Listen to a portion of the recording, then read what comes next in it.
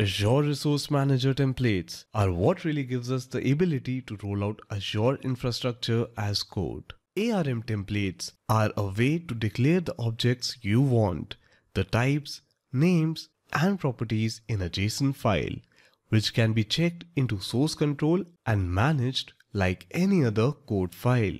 In this video, we will be covering overview of resource manager templates, what is in a resource manager template, and learn about Azure Quick Start templates. In the end, we will also share details about our free Azure Solution Architect Masterclass, which will not only help you understand basics, but it will also give you an idea of the learning path to follow. It will be helpful, especially when you're preparing for Azure Solution Architect certification, which requires you to clear two exams that are Microsoft Azure Architect Technologies AZ303 and Microsoft Azure Architect Design, that's AZ304. For the certification exam, you should have an understanding of ARM template.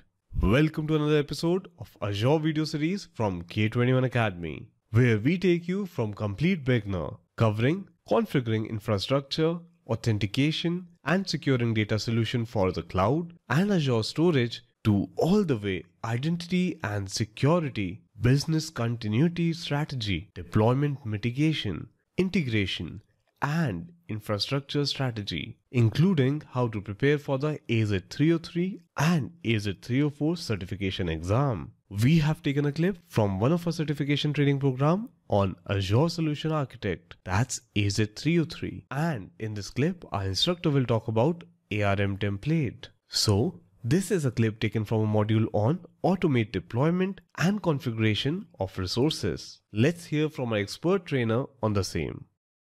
So let's start with ARM templates. So before we get to uh, the templates, uh, let's understand what is ARM or Azure Resource Manager. So it's just an interface for managing and organizing cloud resources. Uh, think of Resource Manager as a way to deploy your resources. So if you're familiar with Azure Resource Groups, you know that they enable you to treat a set of related resources as a single unit. Resource Manager is what organizes the resource group that let you deploy, manage and delete all of the resources together in a single action. So with Resource Manager, uh, you can deploy assets into the same resource group, manage and monitor them together. So when you're done, you can delete all of the resources in a resource group with a single operation. So everything is made possible using Azure Resource Manager, also known as ARM. So what are Azure Resource Manager templates? So ARM template uh, precisely defines all the resource manager resources in a deployment. So it's like a manifest of all the resources that you want to deploy. So if you have uh, used something like Terraform, for instance, uh, you might have seen you will write the list of um, resources that you want to deploy in, uh, in a JSON format or a YAML file and uh, you go for Terraform apply and these are created. Similarly, uh, Azure, in Azure you can uh, write down the list of resources that you need, how they you can let them know how they are dependent and finally you can use a template to automate your deployment. So you can deploy uh, a resource manager template into a resource group as a single operation. Um, so ARM template is a JSON file and it's in a declarative, uh, it's written in the form of a declarative automation. Declarative automation means that uh, you define what resources you need but not how to create them. So put another way, uh, you define what you need and it's a resource manager responsibility to ensure that the resources are deployed correctly. Uh, you can think of uh, declarative uh, automation something similar to how web browsers display HTML files. The HTML file describes what elements appear on the page, but it doesn't describe how to display them. So how is the browser's responsibility? Similarly, we just tell that I need a virtual machine, I need a public IP, I need app service, I need SQL DB. I'll write everything in a file and it's the responsibility of the Azure Resource Manager to deploy it. So we are not concerned about how we uh, we just have a list of resources what we need. And talking about the template design, so how you define templates and resource group is entirely up to you and how you want to manage your solution. For example, uh, you can deploy your uh, three-tier application through a single template to a single resource group, right? So if you look at the image right now, uh, with uh, you have an application uh, with a virtual machine, app servers, and a SQL DB in the backend. So all this can be deployed in a single shot using an ARM template. So, but you don't have to define your entire infrastructure in a single template. Often it makes sense to divide your deployments and requirement into a set of targeted or purpose specific templates. You can easily reuse the templates for different solutions. Uh, to deploy a solution, uh, you create a master template that links all your required templates. The following image uh, shows uh, how to deploy a three-tier solution through a parent template that includes three nested templates. So basically, uh, as you see in the picture, there is a parent template and you have nested template inside that. So these template, these are VM template, web template, DB template are kind of referenced in the parent template and they are invoked like when I uh, run my when I run my uh, ARM template the VM template is invoked that would let me create the virtual machine followed by it will invoke the web template that will let me create the app service so on and so forth. All right so so this is uh, another example. So we are not using um, a parent template here. We are using separate templates here. This is also possible. You can you can manage let's say you are the VM administrator you can write just for the VM and there is a web administrator who will write for the web and there is a DB update so DB person who's going to write the DB template uh, you can let it create to three different resource groups and you can link them together if you want so this is all possible using uh, ARM template so what's in a resource manager template? So below is a example that that will give you the sense of how each section of the template is structured. We are using JSON to send data between. Um, we use um, JSON to send data between servers and web application. So JSON is a way to describe how applications and infrastructure are configured. So JSON allows uh, to express data stored as an object, such as a virtual machine in a text. A JSON document is essentially a collection of key value pairs. So if you look at first one, the schema is a key here, key here, and you have HTTP colon slash slash schema management. So that's the value. Each key uh, is a string. It its value can be a string, a number, a boolean expression, a list of values, or an object which is a collection of another set of key value pairs. So a resource manager template can contain uh, the following sections. These sections are expressed using JSON notation but are not related to the JSON language itself. So if you take any ARM template, you will see schema, the content version, parameters, variables, functions, resources, and output. So we will get to see what each of these are uh, we will start with the parameters yeah so parameters specify which values are configurable uh, when template runs below this is an example uh, that illustrate uh, two parameters so one is for a VM username that's admin username and uh, other one is for its password and uh, that's what parameters is about so coming to variables variables define values used throughout the template. For example, you can define a storage account name one time as a variable and use it that variable throughout the template. If the storage account name changes, you only need to update the variable.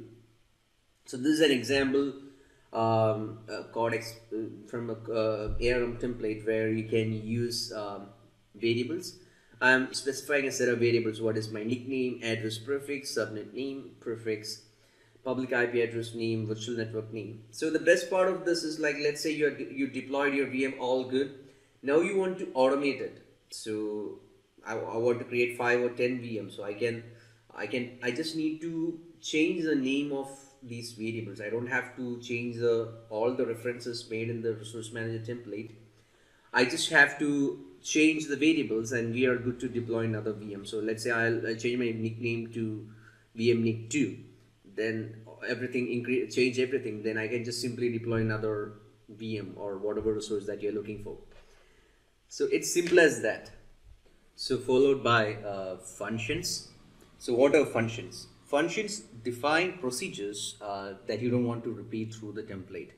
So if you're familiar with any coding, that's the whole purpose of writing a function, right? So you are uh, doing something that needs to be, uh, you don't want to repeat the process. That's where functions come to the picture. So on the screen, you can see an example uh, where, uh, where we are creating a function to create a unique name that could be used only when creating resources that have unique, uh, unique naming requirements. For example, like a storage account or a key vault uh, we need to have unique name.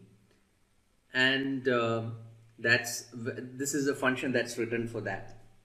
So the next part is resources. So this is a section where you define the azure resources that make up your deployment so this example that you see right now it is the type that's microsoft.network slash uh, public ip address. So we are creating a public ip address. And uh, corresponding details like so if you look at the name uh, it's taken from a variable. And we have declared this uh, variable value in when we discussed variable. And we are referencing that variable here. And if you look at the parameter section I think we uh, mentioned the parameter. Now this is an example where we mentioned the admin username and password.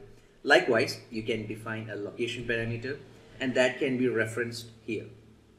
Also the DNS label prefix that's the DNS label. You can have a parameter defined for that and uh, reference that in your resource section. So as the resource type change over time API version refers to the version of the resource type that you want to use. As a resource type evolves and change you can modify a template to work with latest features whenever you're ready. Let's say this one is showing 2018 8.1 API version. Uh, let's say there were some new features that were uh, implemented and the corresponding API version is uh, 2019 10.01 and in future uh, you don't have to change anything much you just need to update the API version so that your uh, deployment will be something new like uh, a version 2 of your public IP.